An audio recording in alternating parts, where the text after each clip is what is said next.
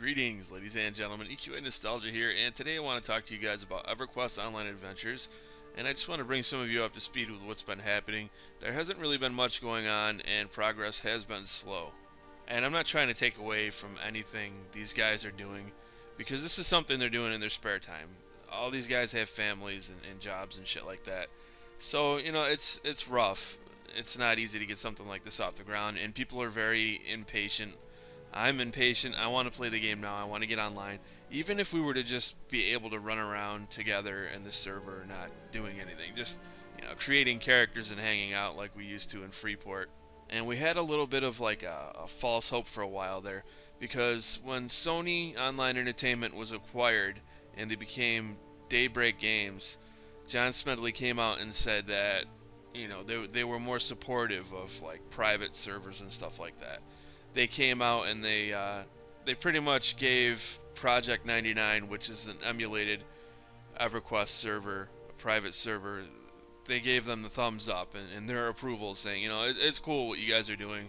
We're not going to shut you down as long as you remain, you know, non-profit and stuff like that. We're open to that. We're open to uh, to working with you guys and, and, and stuff.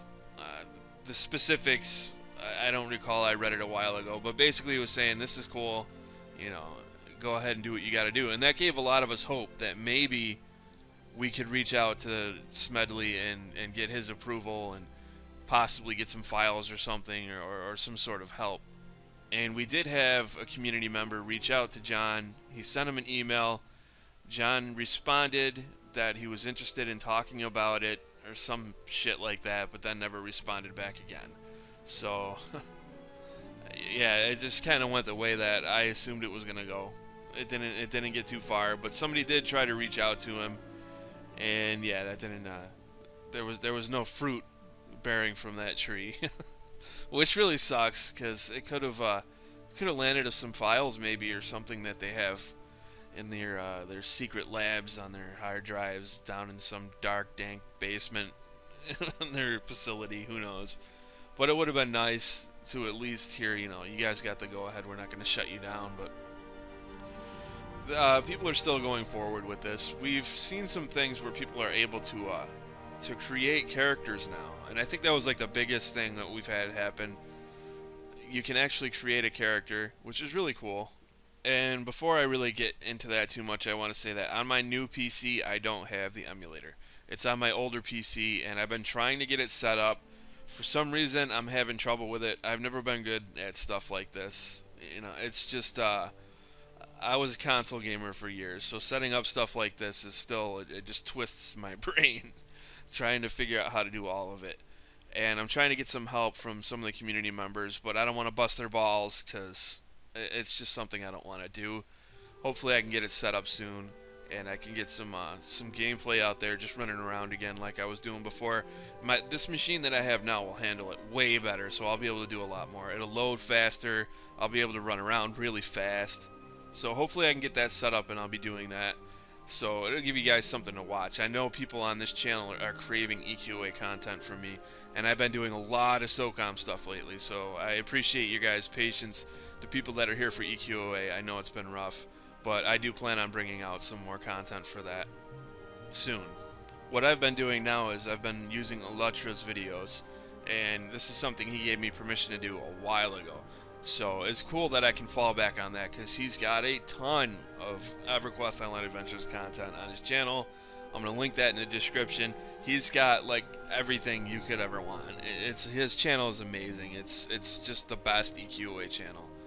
I mean, I know a lot of people like what I do here, but he, he definitely, hands down, has the best EQOA content. But, I mean, the only difference is I do commentary. His stuff is just pure awesome. you know, he, he doesn't do commentary, but everything is there to view. You know, if you want to see somebody create like a Necro or something like that, it's all there. I've, I've been through this before. But yeah, it's it's, it's a great channel. I can't uh, I can't give him enough praise for that. So yeah, people are creating characters evidently you can create like gnomes and all that shit again. There's a lot of models and stuff, character models and things that I didn't think we had access to, but we do. So it's nice to see that. That's good because it's going to help us in the long run. Now, I've seen people launching the game and getting past DNAS and getting into a state where it looks like the game's online, but I don't think they're connecting at all. I'm pretty sure there's there's nobody connecting more than one account. You know, you're not seeing people play together, but it's weird because I don't know how to explain it. I don't know how all this works. But before, people couldn't even get past that. So they're getting past DNAS and all that stuff. So they are making progress. It's just at this point, it's it's that boring kind of stuff. You know, just working out server coding and shit that just doesn't make any sense to me at all. Now I know they had also reached out to some of the members from uh, from Project 99 trying to get their help, and I don't think that's gone through. They might be doing something behind the scenes right now because I don't have you know exclusive uh, hands-on with these guys. I don't know what it, what it is that they're doing behind the scenes until they come out and say it. When the Elder Council was first founded and these guys were doing things, they would they would pretty much post every update, and then as it became more of a public thing, they just they don't want to uh, they don't want to jump the gun and get people too excited. So now I'm not uh, I don't really hear anything at all until everybody else does. I was I was just like the public relations guy anyway. I make videos, so you know I'm I'm by no means on the inside of this thing. It feels like they have made a great deal of progress in terms of getting past all that server code bullshit. Because I remember they couldn't do any of that stuff before, and it was looking completely hopeless. They had hit a wall, and they had expressed that they had hit a wall. At this point, it looks like they are pushing through it. So it's not all doom and gloom, oh no, we can't get past this now. I, I'm sure they've hit snags, but they just they keep making their way through it. And it's so much harder to do this because it was a game that's on PlayStation 2. If it was on PC, they would have been through all this bullshit by now. It's so much harder to take an emulator and work off of that. I mean, setting up an emulator for a game isn't really tricky from what I've heard, but setting up an emulator for a game and then getting the old server code to work and the way that they worked all this server coding was really unique from what I've read, it, it, was like they had like something like 20 some odd different things going on at once to to make the damn game run. So it was uh, it was pretty intense getting EQOA just to run all the stuff they did. They had a lot of things that ran server side, and and that's just uh, one of the consequences of of running a game that was so ambitious on PlayStation 2 hardware back then. So this is really tough for them, and we have to be patient. So that's pretty much it in terms of development and what's been going on. They are making progress, and these guys are, you know, they're vigilant. They don't stop. Nobody's quit. And to be honest with you, a part of me was thinking, you know, they might get so far and then just drop it after like a year. And they've been going for a couple years now. I'm, I'm, i think two or three years. Uh, time flies, but yeah, they've been working at it, and I got to give them credit for it. And I really hope they can make that breakthrough one of these days I'm just hoping I'm going to get up and I'm going to fire up Facebook and people are going to be flipping out because we're able to connect again and get online. So hopefully that happens and happens soon.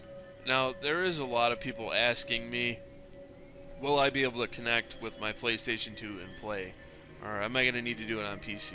And, you know, I'm kind of, I've been a little hostile towards those people saying, you know, come on, you know, get a PC and get on PC because you can do so much more with a PC.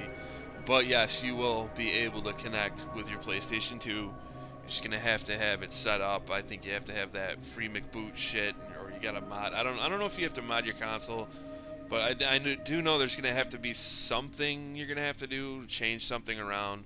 Maybe go in and just swap out like the way it connects, change like the server code or some shit like that it, it probably won't be too complicated unless you want to have it, you know, load really fast and have everything on the hard drive, assuming you have a hard drive. But for me, I'm I'm so past that. I mean, I do go back and I play uh, SOCOM on PS2 uh, over X-Link, but at this point, I just, you know, I would much rather have it on my, my PC because the benefits are, are just huge. I can do so much more with it. I mean, it runs faster, everything loads faster. There's things you can do to like add things in if you wanted to like mod it or run around quicker, stuff like that. That I know a lot of you guys are probably saying, "Oh no, none of that. Just keep it basic." But I don't know. I, am kind of like a PC guy now, so it doesn't make sense for me to go back to that older hardware.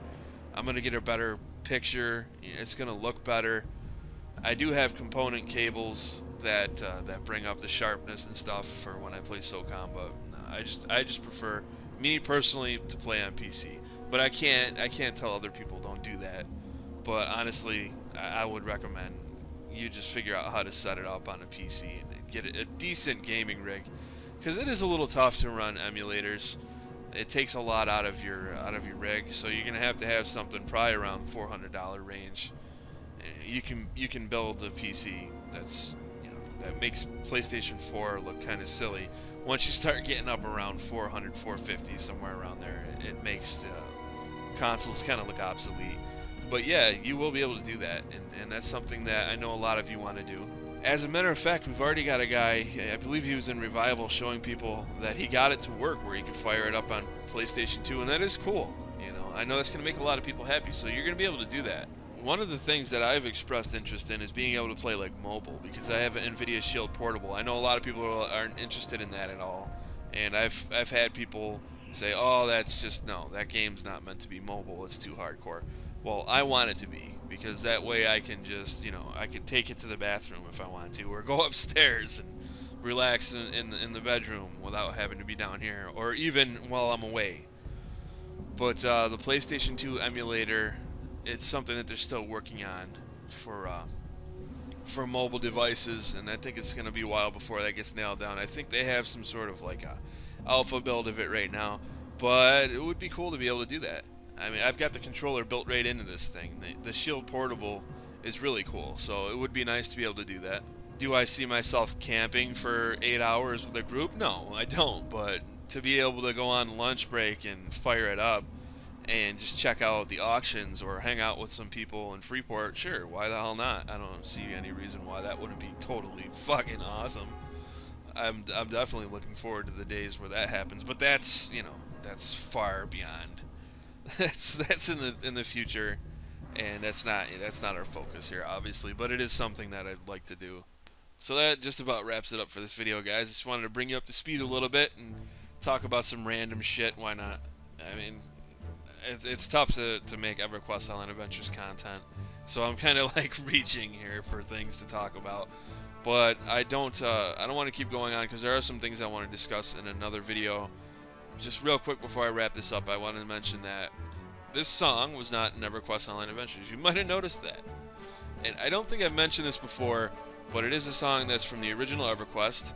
It is just outside of Ak-Anon, so it's it's the gnomish type song.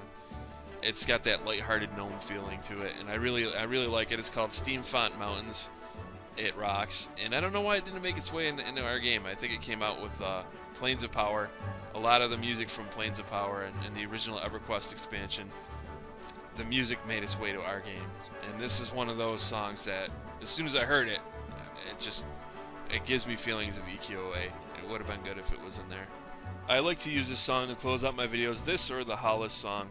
And what I'm going to do is I'm just going to continue to let it play, and I'm going to wrap up the video. I thank you guys for watching, and I look forward to seeing you all in my next one.